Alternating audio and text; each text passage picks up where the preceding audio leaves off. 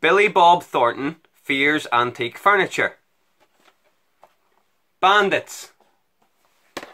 Unsatisfiable whore abandons her husband to shack up with fugitives who she then pits against each other to assuage her bloated ego. Her complicity becomes apparent after a car accident reveals it to the world. Before a stuntman getaway driver gaslights the world by impersonating an ambulance driver in order to fake their deaths in an intentionally botched bank job. Worth watching for good bank job robbery system.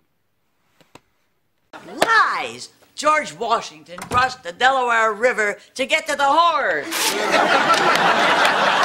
Delaware is famous for its whores. Bingo!